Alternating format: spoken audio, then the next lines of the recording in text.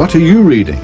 Hi, it's the Holy Quran. But isn't the Quran only for Muslims? Not at all. Its teachings are addressed to all humanity, from heads of state to everyday people like us. What does it teach us? It's a book of life for life. No thinking person should pass through life without it. Where can I get a copy? From the IPCI, 124 Queen Street, Durban.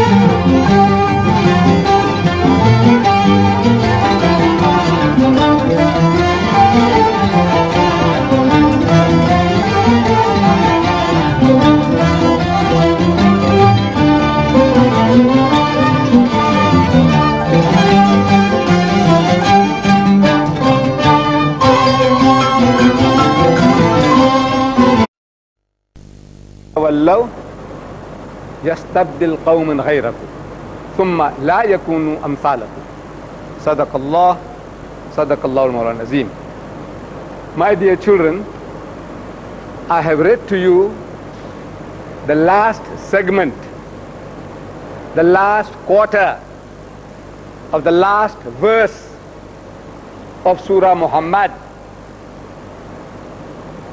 Last segment, last quarter of the last verse of Surah Muhammad. And where will you find this surah in the Quran? You know, the Holy Quran consists of 114 chapters. Are you going to start paging through, looking for Muhammad, Muhammad in 114 chapters? What is the best way to get at Surah Muhammad? Index. The answer is index. If you have a volume like this, Alhamdulillah, by Abdullah Yusuf Ali, at the back of it there is a very comprehensive index. Open the index and look for Muhammad as a surah Muhammad in italics. Every surah is in italics. Muhammad, says chapter 47. And 47 is easy to find because every page is numbered. Once you have found that, I said the last verse, verse 38. Chapter 47, verse 38. Allah Bari Ta'ala, He warns us. So وَإِن تَتَوَلَّوْا يستبدل قوما غيركم ثم لا يكونوا أمثالكم that if you O Muslims if you turn back from the duties and responsibilities which Allah has imposed upon you for being the khayra ummatin the best of people if you don't carry out your duties and responsibilities Allah says يستبدل قوما غيركم he will substitute in your place another people. Summa la yakunu amsalakum. Then they won't be like you rubbish. You think Allah has chosen you? You're going to sit on the pedestal because you are a Muslim. You don't do your job. It's a get out of the way, you bloody rubbish. Make way for somebody else. And this is his law. This is the unchanging law of God. You don't do your job, get out of the way. That's what they do to your professors. Hmm? The rector, he's seeing whether the teachers are doing the job. If not, replaces the guy. You have an imam, if you hired an imam, if he doesn't do his job, replace him. If you have a bangi, Muazzin, he doesn't do the job, replace him. This is the law. Your father's in your businesses, you have a manager, he doesn't do his job, replace him. This is the law. Same law of God. You don't do your job, displaced, replaced. And Allah Bari Ta'ala chose us. He says, Kuntum khayra ummatin ukhrijat linnas you are the best of people evolved for mankind, not for yourself, for mankind. You are the best of people evolved for mankind. تأمرون بالمعروف وتنحون عن المنكر because you enjoin what is right and you forbid what is wrong. وتؤمنون بالله and you believe in Allah. If these are your qualifications, that you are enjoining people to do right and you're forbidding people from doing wrong and you believe in Allah, in that case you are the best of people not because you are Arab, or a Pathan in Afghan, or a Hindi Musliman, or a Pakistani, rubbish. Rubbish. What makes you khayra ummatin, the best of people? These are your duties and responsibilities, Allah says. That you enjoin what is right, and you forbid what is wrong, and you believe in Allah. And once you have accepted that, the very first duty and obligation that Allah puts on you and me, on everyone who claims now to be the best of Ummah, no honor without responsibility. There's no honor without responsibility. Your rector, he has his responsibilities. Hmm? Your teacher has his responsibility. Everybody in a position of power has his responsibilities. And you mean to say that we, the ummah, the khaira ummatin, the best of people, no responsibility? Kha pi kar maja karo, eat, drink and make merry, huh? live like animals. No responsibility? No, Allah imposes a duty and a responsibility upon us for being the khaira ummatin. And this honor, this privilege that Allah has given us is to be shared. It's not for keeping. It is to be shared. With who? The very first people. Allah says, with whom we must share. Are وَلَوْ آمَنَ أَحْلُ الْكِتَابِ لَكَانَ خَيْرًا لَهُمْ But if the people of the book, who are the people of the book? Who? Come, come, come, man. The Jews and Christians. Don't be shy. Say, you're going to give battle to the Nasara and to the Yahudi and to the Mushriks. And when you can't open your mouth in front of your uncle, your grandfather, huh? you're going to give battle. Mujahids all, all martyrs, want to become martyrs. No, my son. You know, learn, man, to open your mouth, hmm? open your mouth, speak up, make a mistake. Nobody's going to kill you. Who are the Ahlul Kitab? The Jews and the Christians. So Allah says, وَلَوْ آمَنَ أَحْلُ الْكِتَابِ لَكَانَ خَيْرًا لَهُمْ But if the people of the book, meaning the Jews and the Christians, if they hearken to this message, it will be better for them. In other words, it will be better for you. مِنْهُمُ الْمُؤْمِنُونَ Among them there are good people, mu'mins. Very high title. Among the Jews and the Christians, Allah says there are mu'min. وَأَكْثَرُهُمُ الْفَاسِقُونَ But the majority of them are perverted transgressors. The Jews and the Christians have been prepared to receive this message. They have had prophets after prophets sent to them. We take the names of these prophets as our own prophets, as I was telling you people yesterday. Yesterday, in that big hall. How many of you were there? Please put up your hands. MashaAllah, MashaAllah, No use brushing them aside. They have certain qualities. You see that yesterday. Hmm?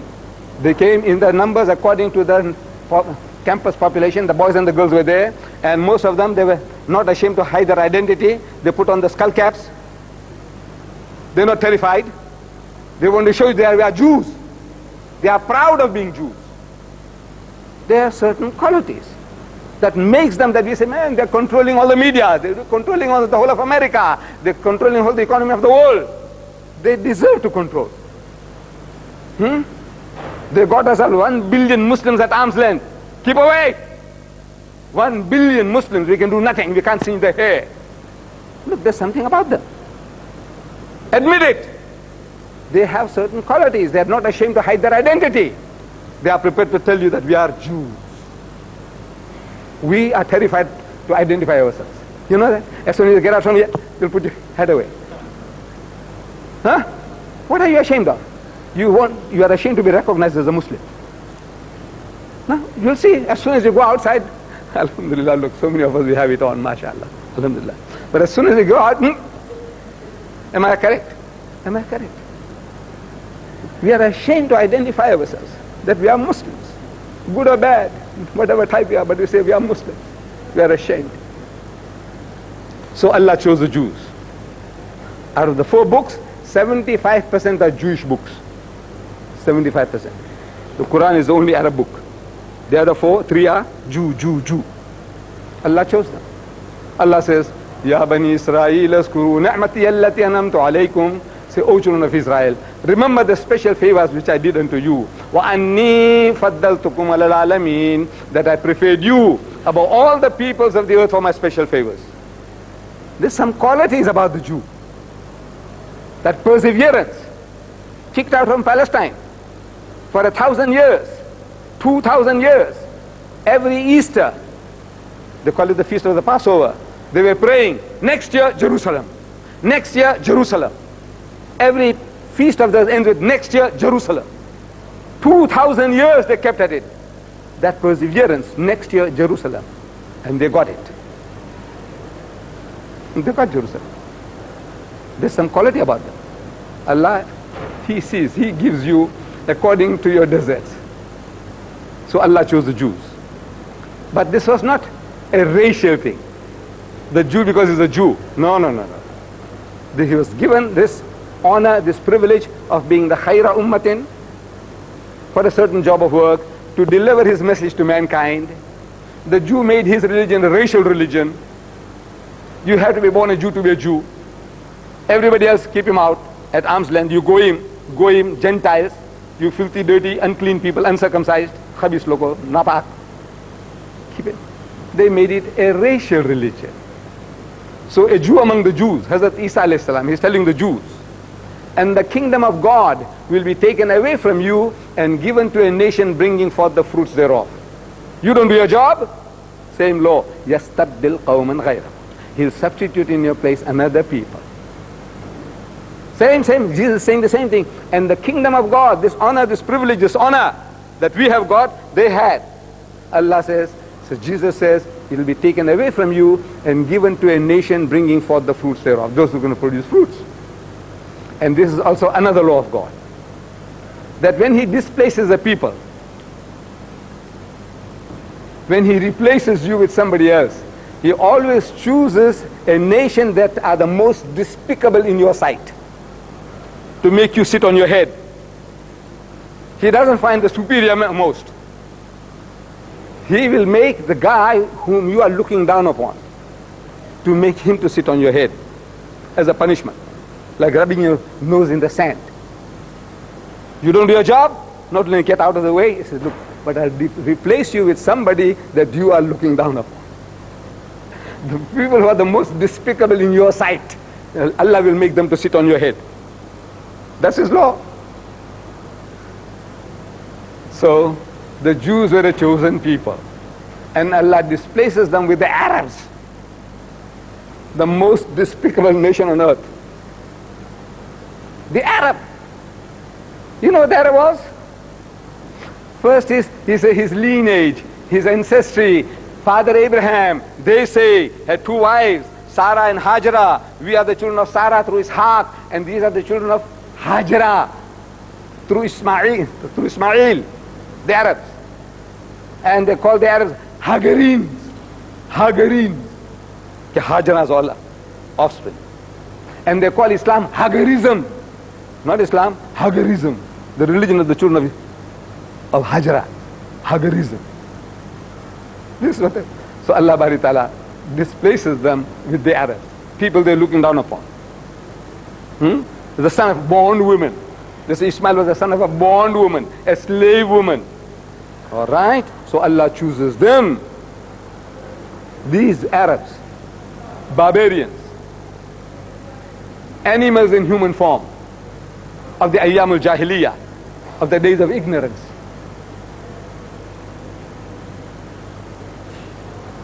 Gibbon, the master historian, he describes the Arabs of the Ayyam al-Jahiliyyah, of the days of ignorance. He said the human brute, this animal in human form, almost without sense, he's got no brains, is poorly distinguished from the rest of the animal creation. The only difference between him and the animal is the form, this form. Fi ahsan takwim, Allah has made you in the best of forms, the shape, this comeliness. Otherwise, animal and worse than animals. These Arabs, they married their stepmothers. Do you know that? They buried their daughters alive. fratricidal wars, fighting over little, little things for decades, killing one another. Animals in human form, worse. And Allah transformed them, made them into torchbearers of light and learning through the Quran. And they spread out. And they went, and went as far as the Atlantic coast, went and conquered Spain, ruled Spain for 800 years. No Christian nation has ever ruled Muslims for that period of time. 800 years the Muslims ruled Spain. Do you know that? 800 years. And you go and see the, the monuments there. The Alhambra, Granada. Go and see there. That's the only thing that they have to show you besides bullfights and castanets. The women they use in that dancing. Kat, kat, kat, kat. Besides that, the only thing that they have to show you in Spain are what the monuments our forefathers left. That's the only thing that's worth seeing in Spain. 800 years. Had a jolly good time, the Muslims. They beget bastard children from the Spanish women. Didn't convert them. Eh, Ahl al-Kitab, Ahl al-Kitab, people of the book. 800 years. And they are reading the Quran. And they understood the Quran, unlike us. We Hindi Muslims, or we African Muslims, or we new brothers in faith, we read the Quran if at all, for sawab, for blessings, for music, beautiful recitation, we read it. Allah will give us sawabs, He'll give us blessings, inshallah Not for understanding. Hardly any of us understand. Is that a fact? Hardly any of us. But the Arabs understood. The Arabs in Spain, they were reading and they knew the language. They, they kept to the language. They understood the Quran. And they're reading. كم تركوا من جنات وعيون Allah is warning them. So how many were the gardens and the fountains they left behind? كم تركوا من جنات وعيون وزوء ومكام كريم and cornfields and monumental buildings ونعمة كانوا فيها فاكهين and wealth and the amenities of life in which they took so much delight. Hey, hey, maza, maza. I enjoyed themselves. Allah is describing the scenes. كذلك وأورثناها قوما آخرين Thus other people were made to inherit these things فما بقت عليهم السماء والأرض وما كانوا منذرين and neither the heavens nor the earth shed a tear for them nor was respite given to them anymore they're reading and they understand what they're reading they're not like us parrots they understood but when they're reading they are visualizing the Egyptians they're thinking the bloody fool, the Egyptian. You know, Allah sent the Pharaoh, Pharaoh. Allah sent nine plagues, plagues after plagues, destroyed them, destroyed them, destroyed them, nine plagues. But the fools wouldn't listen. Huh? They talk about the pyramids, they talk about the Sphinx, they talk about those Abu Simbel, you know, all the temples, the huge monuments. Unbelievable, unbelievable. When you go and visit those things, you can't imagine that these people 5,000 years ago, they built these monuments the, the pyramid, this logistics of the pyramid, each block 50 ton. How do you get these 50 ton blocks together? Huh? Without your modern machineries, how did they do it? You can't imagine it. That you have these blocks side by side, you can't put a thin cardboard in between. Once the thing is set, put, is put, how do you get these two blocks together? And another one together? Come, come and think. You engineers who's doing studying engineering, how do you get them together? You just marvel, marvel. Allah is discussing. So the, the Muslims in Spain are laughing at the Egyptians, the bloody goats, the bloody fools. Firaun, he didn't heed the warning. Hmm? Allah destroyed them. you see, Allah destroyed them. the bloody fools don't know that they are in the firing line. They are in the firing line. But no, no, you laugh at the other fool. This is man. We do it all the time. You are in the firing line, you laugh at the other fool. Not that you are the bloody fool. You are in the fighting line now. No, nobody sees that. You see the other fool. They are not prepared to propagate Islam to the, to the Spanish people. Why? Pig eaters. Suvar khane wale, suvar khane wale. Pig eaters. Wine bibbers. Pittak log. what can they understand about Islam? Your forefathers, you Arabs. They were worse than any Spanish community. Anyway, no Spanish fellow married his stepmothers. No Spanish Christian ever buried his daughters alive. Hmm? But no, you laugh at the other fool. Allah says, فَتَرَبَّسُ You wait. You khabis, you wait. حَتَّى يَأْتِي اللَّهُ بِأَمْرِهِ Until Allah's decision comes about for your destruction. And they waited for 800 years. Allah waited and they waited. Our brothers, they waited. Until they were kicked out to a man. there was not one guy left in that country to give the azan after 800 years. What a failure. If the white man is kicked out, man is going to leave behind 80% of the African Christians. You know that? In 300 years, he did it. 80% of the people will be Christians, say, Jesu Christu, Jesu Christu, they're going to die. Hey. 80% will be Christians saying, Jesu, Jesu, Jesu. Right? We, after 800 years, not one guy left to give the azan. This is Allah's law. You don't do your job, it's yastabdil qawman ghayra. Baghdad, Samarkand, Bukhara, and the Harun al-Rashid, Mamun al-Rashid, a veritable fairyland. Those scenes you can only reproduce on films, no more in real life. On the borders were the Mongols, the barbarians. What about preaching to them? So what can they understand? Uh-huh, they can't understand. Your forefathers could. Allah says, فَتَرَبَّسُ You wait. And they waited until destroyed. Whole thing destroyed. Baghdad, Samarkand, Bukhara, Shis, destroyed. Still coming nearer home, our motherland, India, Pakistan. We Muslims ruled India for a thousand years. After a thousand years of Muslim rule, eventually when partition takes place, the Muslim gets one quarter, the Hindu gets three quarter. Why? You didn't do the job. You had a jolly good time and you're paying the price.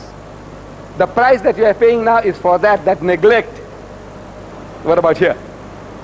Are we any better? Are we any different?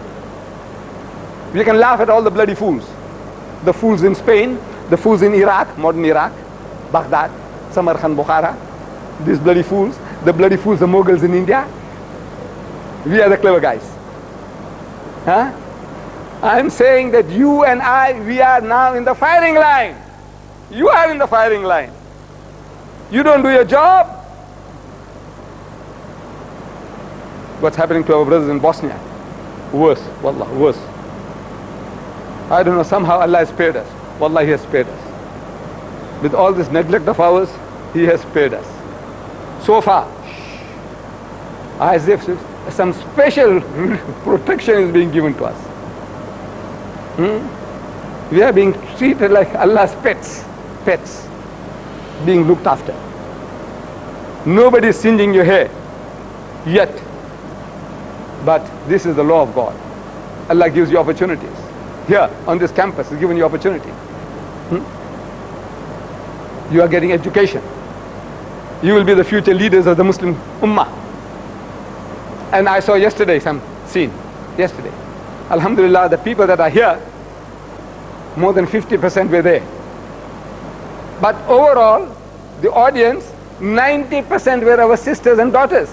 Do you know that? 90% of those people that were there, the Muslims, were women. I want to know what happens to our men. Maybe they all run away to around the mother's aprons, you know, trying to get protection. What? From the Jews. They had torn down your pamphlets, your, your posters. So terrified, she run away home in your mother's laps. What? Huh? 90%. I don't know, those of you who were there, you'll bear witness, 90% were our daughters. 90%. I want to know what kind of men are we breeding. And you are a people who are prepared to give battle. You university students, you want to do jihad. You want to do jihad. You want to go and die for the Palestinians do in the Intifada.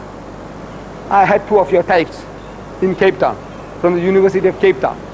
I went there on a lecture tour with Dr. Findley, Paul Findley, and two young guys from the University of Cape Town, Muslims, Muslims. They came along, said, Mr. Deedat, we want you to help us to get to Israel. I said, what do you want to do there? He said, we want to help in the Intifada. We want to help our brethren. I said, look, you see the Jews are too well organized. Man, as soon as you land there, you're under surveillance. They're watching you. Every move you make, whose house you visit, they are all, man, you are on record. They got you taped. I said, my sons, you got no chance. The Jews, man, will catch you out in, in double quick time. You got no chance to go and help your brothers in the Intifada. He said, look, look. He said, do that. Get us into Beirut and we will sneak in through there. They're prepared to die for the Muslim cause. You are also prepared to die for the Muslim cause. Huh? You organize a meeting, but 90% of our, our audience was girls. Girls. They are prepared to die. They are prepared to face the Jews. Not you. What? Castrated all? Emasculated? Castrated animals? On the university campuses, you want to fight and want to give battle? So the young men, I'm telling them, I said, look, I have this book here, Arabs in Israel, Conflict or Conciliation. We are going to give them out at the meeting in Good Hope Center. I want you to go and give them out in the streets with a happy face. Good morning, sir. Good morning, madam. Happy Christmas. Happy New Year. Go and give it to the people, man.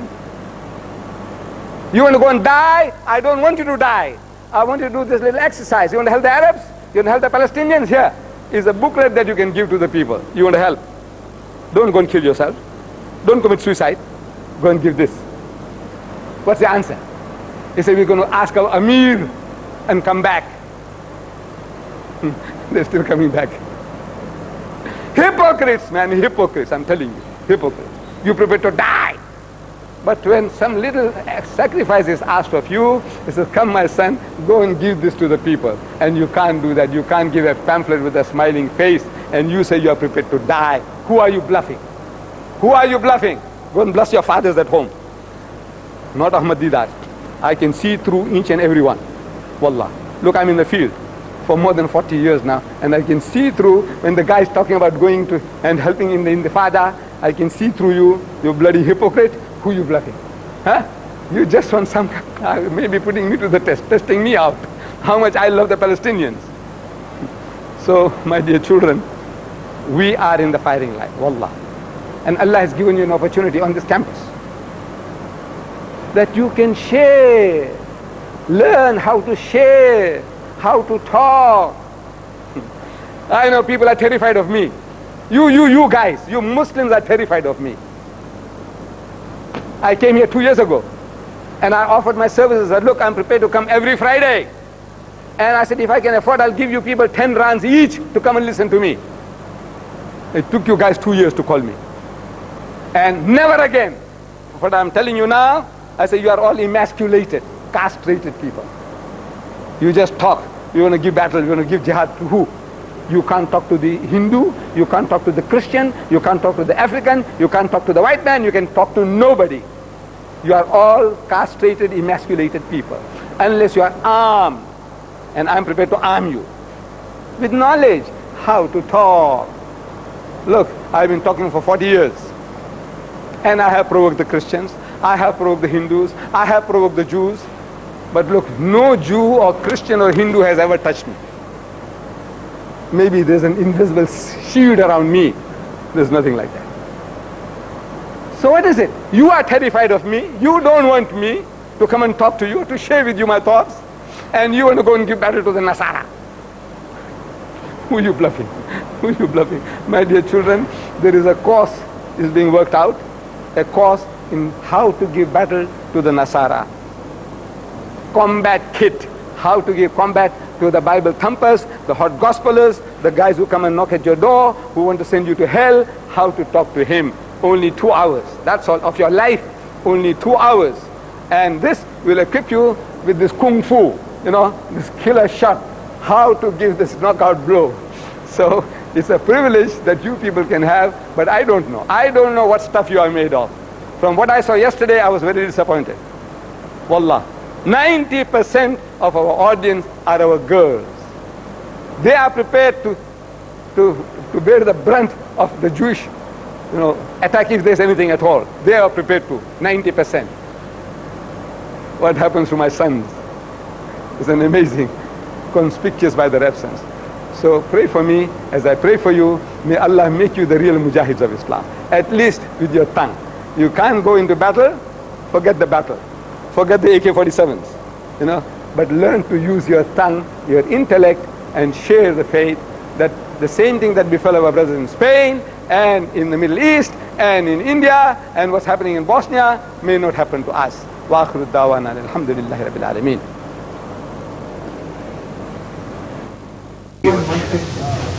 Going back to my school days, a couple of years ago. Yes, yes. I had an argument with the teacher once, Uh, the Hindu chap, Right, and uh, he got me with this argument, this topic about religion thing. right, I was explaining to him that each Muslim is put on the world in, in, in, the dunya to, and he's got to prove himself. right, He's Right. going to be tested in certain ways, and eventually he's going to either make it or don't make it. right, Right? right, So he tells me, uh, God knows everything. right. Now, why would he test you if he knows the result Yes, So he knows what the result is going to be. right, right, He knows what, what your weaknesses are, what your strengths are. He what the result is. right, right. So why why would he test you in the first place? Why doesn't he just immediately, when you're created, good or have a good, classify right? You see, let's say you, sir, you are the rector of the university. Your son is standard six. That PSC, right? PSC, what do you call it?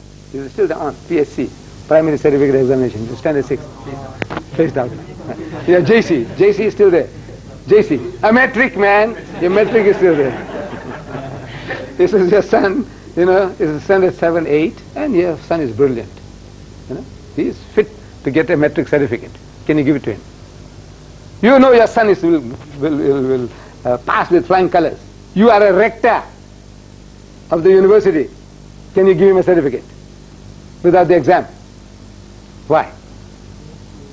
He, he's got to prove to himself that he's done the job.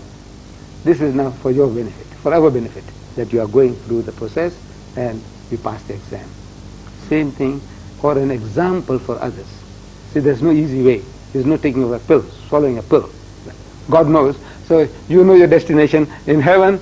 Before you were created, He could have put you in hell or put you in heaven. Finish. What the hell are you doing here? You, know, you would have been in hell or heaven. He knows eventually where will be. You deserve hell. So before your birth, put you in hell, your ruh in hell, and you in heaven. And I'm told there's no need for this earth at all. There's no need for anything. Hazrat Ibrahim alayhi salam. You see the example.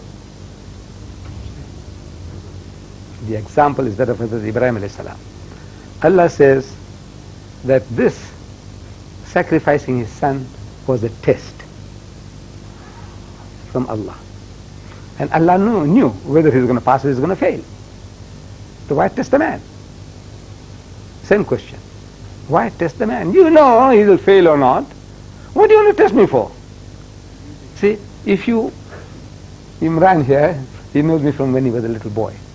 If he needs 10 rands, he thinks if uncle is around, he can get it. If I got it, he says, uncle, can you lend me 10 rands? I said, Take it myself. He wants 50 rands. He says, uncle, can I have 50 rands? Is he testing me? No. But if he's not sure whether, you know, I will help him or not, then he wants to try me out once in a while to see that whether uncle will, if I need it, if I need it, will he? So he says, uncle, I need 10 rands, but I need 50 rands. So he tested me out for the future. Then after a couple of days he returns it and says, thank you very much, uncle. But he was testing me. So Allah doesn't need that. He knows whether Ibrahim alayhi salam will fail or will succeed. Then why put him to the test? Now in his case, you see, human sacrifice was prevalent in his environment. People used to sacrifice their own sons and their own daughters. And man can be programmed, as I was telling you just now. You can be programmed into anything. Do you know that? This is, man, the most valuable thing you have, the Eskimo says. What is it? Your wife. And when I visit you, damn it all, you want to put her out of the way. Huh? You want to give me tea, cakes. What does it cost? Huh? But the most valuable thing you have? Your wife. Where are you putting her? Out of the way. So he said, look man, the most valuable thing I have is my wife. I'm offering it to you. Program. Brainwashed. He believes sincerely that that's the, the, the greatest hospitality he can show to you is to offer his wife to you. It's programming. you can be programmed into anything. Sati, the Indians, you know, the women were immolating themselves in the funeral pyre of the husbands. Why? He says, Everybody works you up. This man, you loved your husband? She said, Yes, I love my husband. He said, damn it, your husband is gone, and what the hell are you doing here? Maybe you got another bloke. He said, no, no, no. prove, prove your, prove your word. So the poor thing, she used to go and burn herself on the funeral fire. Brainwashing. Man can be brainwashed into anything. So the people were brainwashed into sacrificing human sacrifice. Their own son, man, the most valuable thing I have is my child. I'm prepared to sacrifice for God. Sincere, sincere, sincere. What greater sincerity than that can a person show? Your own child, your own son or daughter. No, no, programming, brainwashing. So the people were brainwashed. Human sacrifice was prevalent. So God would say, send a command, hey, no more. Doesn't make sense. So he says, now enact a scene, a drama. Now, Abraham, go through this. Hmm, hmm, hmm, one dream, again another dream. So, no, it can't be, this must be serious. So he no, Allah wants it. So what do you say, my son? The son says, why, father, if, if Allah wants it this way, I'm prepared to submissive. And at the critical moment, Allah says, no. He needs no flesh, not of a man or an animal. What he needs is your willingness. So there's a lesson to be learned that he wants you, your willingness, I'm prepared to sacrifice. This was a test. He passed the test. So as an object lesson for others, God needs no sacrifice, no blood, not of a lamb or of an innocent man or a guilty man, no blood. So this is for our, for our own spiritual uh, development. Uh, one day somebody asked me a question concerning the Adam and Nabi Hawa, their children. Now we are descendants from them. And they said that uh, as suppose the child born in the morning was married to the child in the evening. So he said, isn't that called incest? So how do you answer that question? If such a thing like that, it would be incest. But you see, incest, all the religious laws, Judaism has laws against incest. Or you covering your father's nakedness means your stepmother or her nakedness. All shh, very, very strong, taboo. Incest is a very uh, big crime compared to adultery. Adultery in the house of Islam is next to murder. Adultery, next to murder. Because the adulterer and the adulteress hundreds lashes in public, you know. So it's, it's next to murder. Or some say stoning, it's next to murder in its consequences. Incest is worse. Adultery with somebody else's wife or daughter. Incest with your own mother, or with your sister, or with your daughter, or your daughter-in-law. That's incest, is worse. So incest is bad. Very bad. But you see, if there's no law, there's no sin. Sin is a breach of the law. The Immorality Act for so many years. So many white people went to jail and somebody committed suicide. Right? But Simon van der Stel and all those guys that came early, you know, they prohibited the Bushman woman, the Hottentot and the Bantu woman, then they beget these three million coloreds. Huh? Can anybody be charged for under the Immorality Act? No.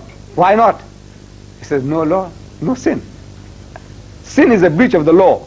So when the law is there, it's a right, you break the law, shh, from there on, you are committed.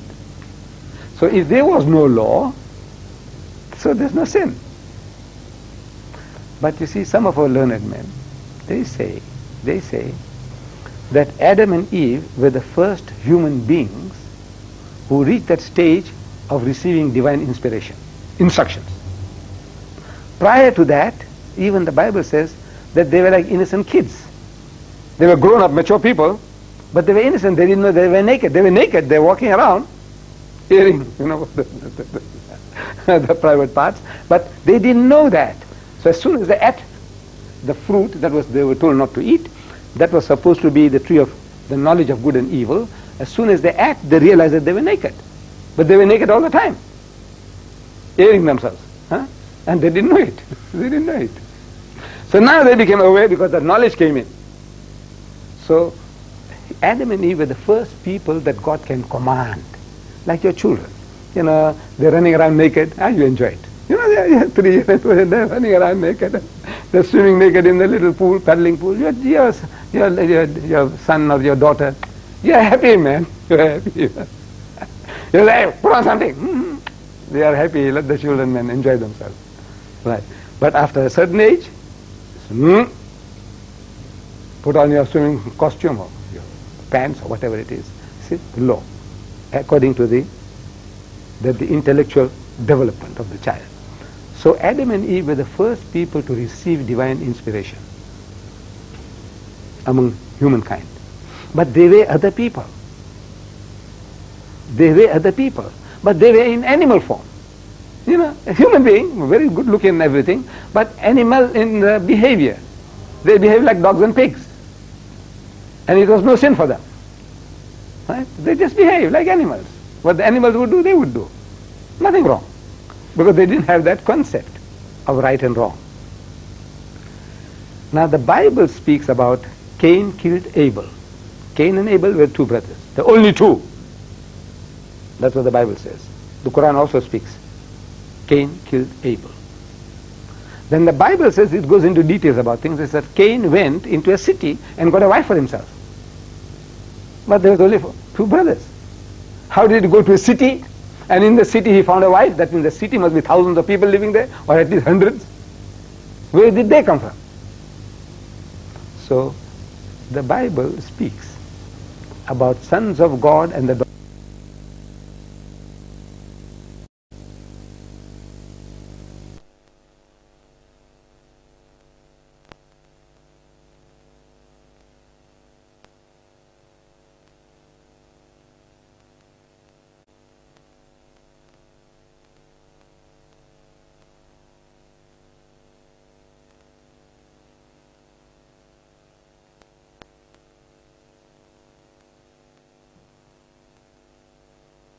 comprehensive index. Open the index and look for Muhammad as a surah Muhammad in italics. Every surah is in italics. Muhammad, is chapter 47. And 47 is easy to find because every page is numbered. Once you have found that, I said the last verse, verse 38, chapter 47, verse 38. Allah Baritala, He warns us وإن تتولوا يستبدل قوما غيركم ثم لا يكونوا أمثالكم that if you O Muslims if you turn back from the duties and responsibilities which Allah has imposed upon you for being the khayra ummatin the best of people if you don't carry out your duties and responsibilities Allah says يستبدل قوما غيركم he will substitute in your place another people Summa la yakunu amsalakum. Then they won't be like you rubbish. You think Allah has chosen you? You're going to sit on the pedestal because you are a Muslim. You don't do your job. It's a get out of the way, you bloody rubbish. Make way for somebody else. And this is his law. This is the unchanging law of God. You don't do your job, get out of the way.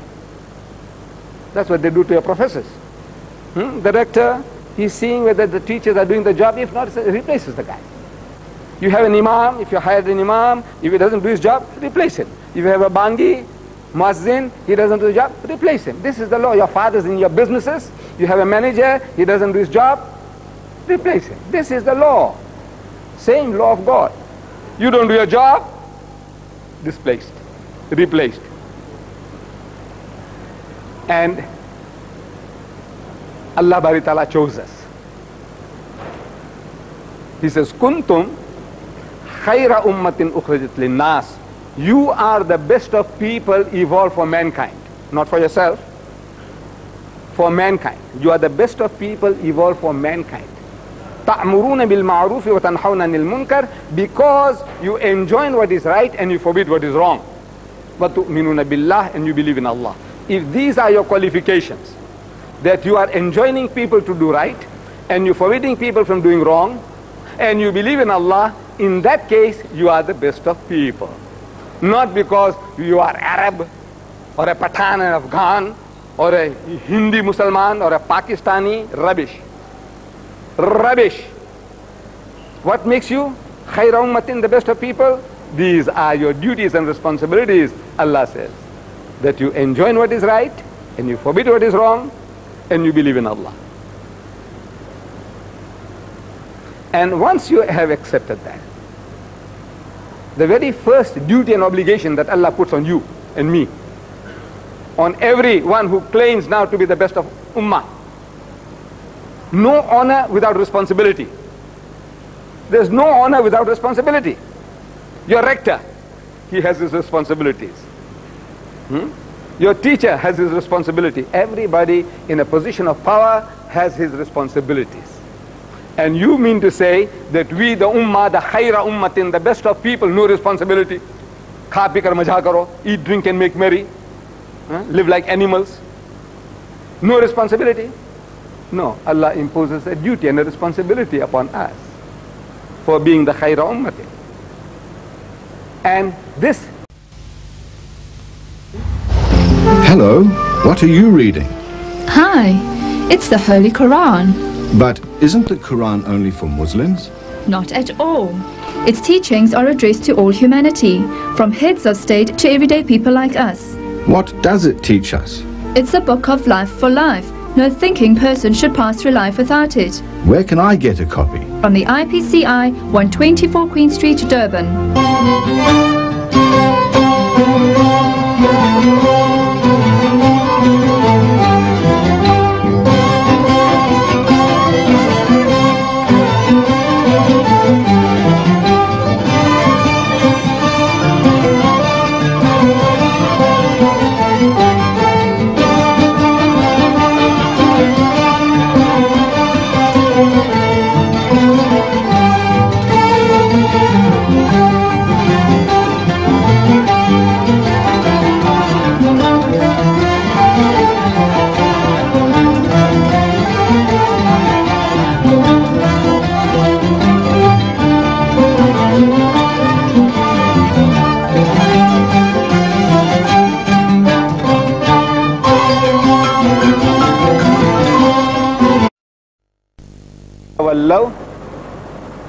يستبدل قوم غيركم ثم لا يكونوا أمثالكم صدق الله صدق الله المولى العظيم My dear children, I have read to you the last segment, the last quarter of the last verse of Surah Muhammad. Last segment, last quarter of the last verse of Surah Muhammad. And where will you find this surah in the Quran? You know, the Holy Quran consists of 114 chapters. Are you going to start paging through, looking for Muhammad, Muhammad in 114 chapters? What is the best way to get at Surah Muhammad? Index. The answer is index. If you have a volume like this, Alhamdulillah, by Abdullah Yusuf Ali, at the back of it there is a very